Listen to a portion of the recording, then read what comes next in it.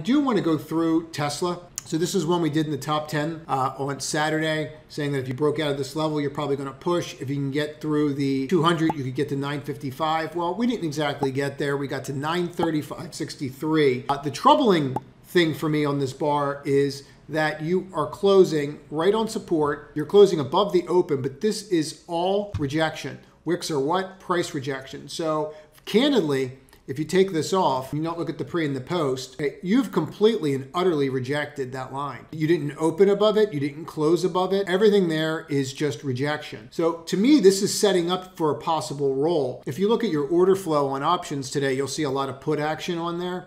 And the reason for that is this is this is when someone, if you're an institution, this is when you would short. You try to get over the 200, you can't you have this shooting star coming straight down. It's like a, I mean, this is like a perfect evening star, right? So remember how, remember how I showed this one last week and said, hey, I showed this one uh, Saturday and said, hey, you know, this is a, and also Friday in Twitter. You should follow me on Twitter because I do throw out ideas on there as well. But you see this right here? This is where we wanted to flip and said, hey, if you flip here, you might want to go long, but it had a long tail, right? That's the exact inverse of this pattern that you're dealing with. Right, so now you're dealing with it on what? You're dealing with the evening star versus the morning star. You know, you take that low out. Let me just give you that number so you can see it.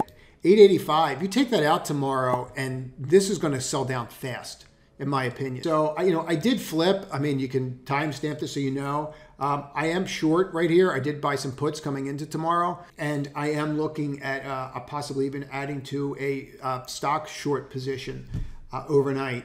I mean, that's just a really nasty rejection. So if you like this clip, click on the left to watch another one, or if you want to see the entire video, click on the right.